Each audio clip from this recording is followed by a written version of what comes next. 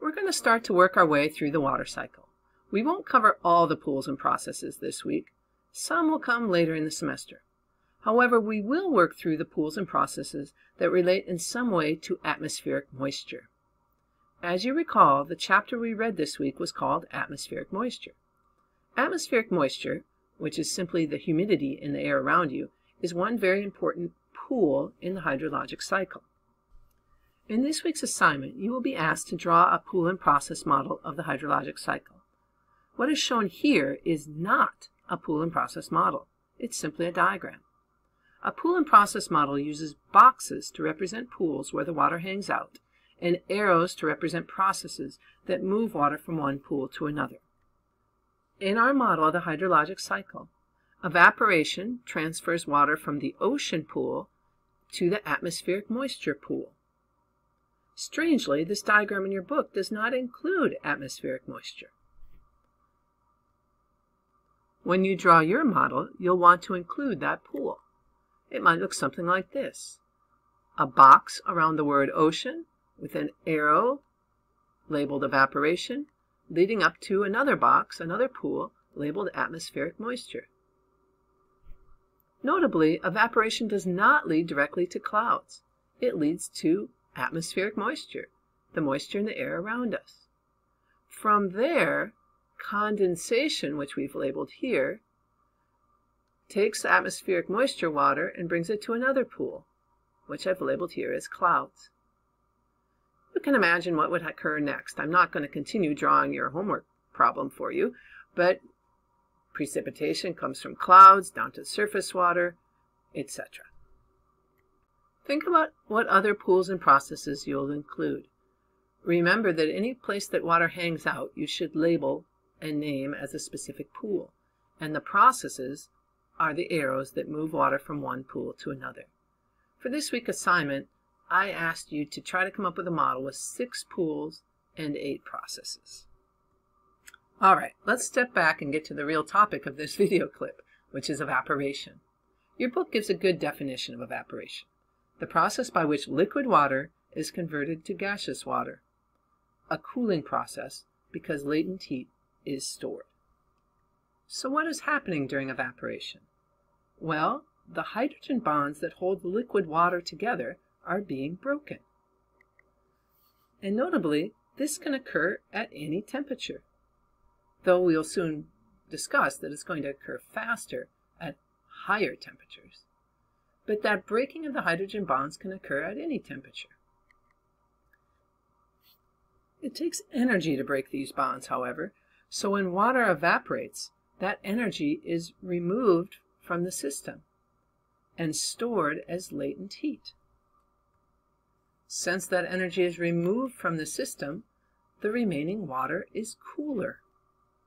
I'm going to repeat all that one more time. When water evaporates, the hydrogen bonds that are holding the liquid water molecules together are broken. And it takes energy to break those bonds and release the individual water molecules into the air.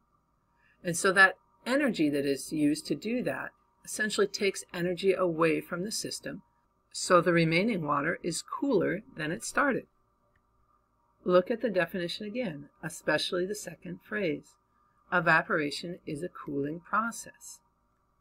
This is very important, and we discussed it back when we addressed temperature and global temperature patterns back in Chapter 4. When water evaporates, the remaining water is cooled because it took energy to break those hydrogen bonds that held the liquid water together. This energy is called the latent heat of vaporization, and that energy will be released again when the water recondenses. Thus, condensation is a warming process. Keep reviewing this until it makes sense. Simply remembering that evaporation is a cooling process will actually take you a long way. And to help you remember that, think of your body sweating when it gets hot. Our bodies use evaporation to cool us. When we sweat, we evaporate water to make us cool. There are three factors that influence how fast evaporation occurs and how much evaporation occurs. you should be very able to list these three processes and discuss each one of them. We'll list them first here. First, temperature of the water and of the surrounding air can affect evaporation rates. The amount of water vapor already in the air can affect evaporation rates. So the humidity of the air affects evaporation. And then lastly, wind. If the air is still or if the air is moving can affect how fast evaporation occurs. So temperature, humidity, and wind all affect the rate and extent of evaporation. Temperature is the most obvious factor that influences evaporation. Notably, water can evaporate at any temperature. You know that if a little bit of water spills on a table, it eventually evaporates, even if the room temperature is not very warm. But the hotter the temperature of the air or the water, the more evaporation is going to take place. Why? Remember that temperature is the average kinetic energy of the atoms. So as the atoms gain more kinetic energy, they're better able to break the hydro hydrogen bonds that hold liquid water together, thus freeing the molecules to enter the air as vapor. This is a direct relationship. When temperature increases, evaporation increases. When temperature decreases, evaporation decreases. Some water will evaporate out of the pan, shown here, at any temperature. But as the water temperature increases, more and more water will evaporate. Eventually, though, the evaporation might slow down because of the humidity, which is our next factor. Because as the water evaporates and there's more and more water molecules directly above the liquid water, the humidity of the air above the water is very high. So that brings us to our next factor. So let's look at the influence of humidity. Your textbook goes into this in more detail, and you should definitely read your, your textbook. But essentially, at any given temperature, there's a maximum amount of water vapor that the air can hold. You see this represented on this graph showing water vapor capacity. At 32 degrees Fahrenheit, the air doesn't hold much water. But as the air gets warmer, there's a higher water vapor capacity. Essentially, the air is holding more and more moisture. And if the air is dry, meaning it's far from the, the, the capacity of it to hold water, so say the air only has water represented by about this much, this high on the graph, and it could hold up to here, the air is pretty dry. Evaporation can occur quite easily. Consider how fast your clothes dry on a hot, dry day. However, if the air is already saturated, the air already holds its maximum water vapor. No more evaporation can take place. So at the same temperature in a humid location, your clothes would not dry. So a way to think about this is that at every temperature, there's a maximum amount of water that the air can hold. And if the air is already at that maximum, no evaporation can take place. However, if the air is far from that maximum, meaning the air is fairly dry, more evaporation can take place. This gives us some insight as to why humid locations like Georgia or Washington, D.C. feel so hot in the summer, even though their air temperature may only be about 80 degrees. 80 degrees in Georgia in the summertime feels much hotter than 100 degrees might feel here in dry California. Why? We can't sweat in Georgia. We cannot use evaporation to cool ourselves because the air is already saturated. Georgia has a much more humid summertime climate, which we'll discuss why later. But for now, Georgia has a very humid climate, and so the air is already saturated with water vapor, and evaporation does not occur very readily, even off of our own bodies. So we can't sweat, we can't cool ourselves, we feel hot. Let's look at this graph one more time and notice again that as air temperature goes up, the water vapor capacity goes up as well. And as temperature decreases, the water vapor capacity decreases. Notice that direct relationship. For our purposes, we can simply consider that warmer air can hold more water than cooler air. This is going to be very important later as we'll see that as air rises and expands and cools, water will start to condense because the cool air can't hold all that water. It's oversaturated and water condenses and forms clouds. So as air rises and expands and cools, we have cloud formation.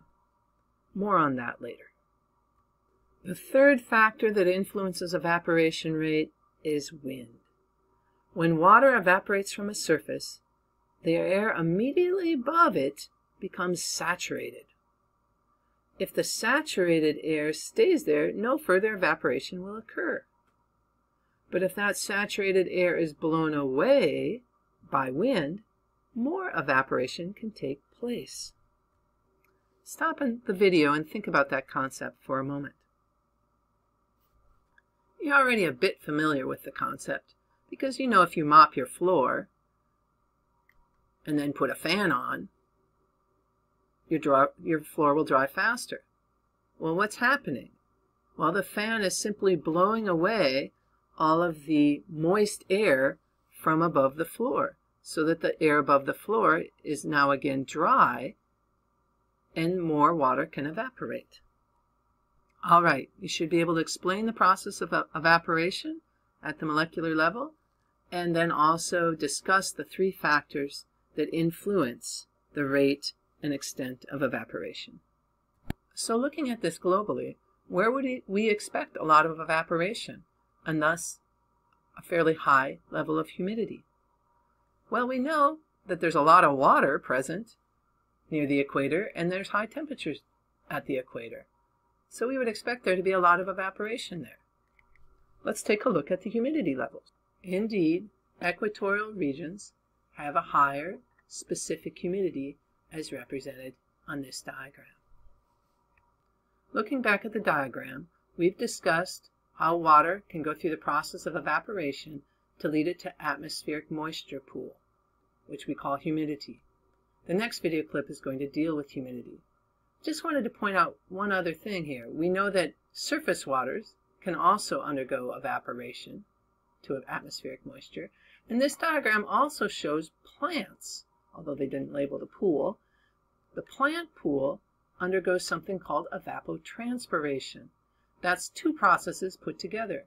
Evaporation from the leaves directly, and then also transpiration, which is the water that's taken up from surface water or groundwater through the plant and out the leaves.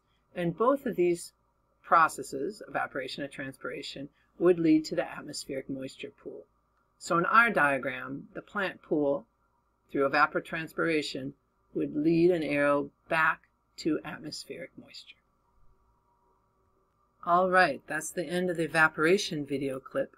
I encourage you to check your own learning by stopping the video and answering these questions. Consider answering them in writing. They're not due, but it's definitely going to help you master the material.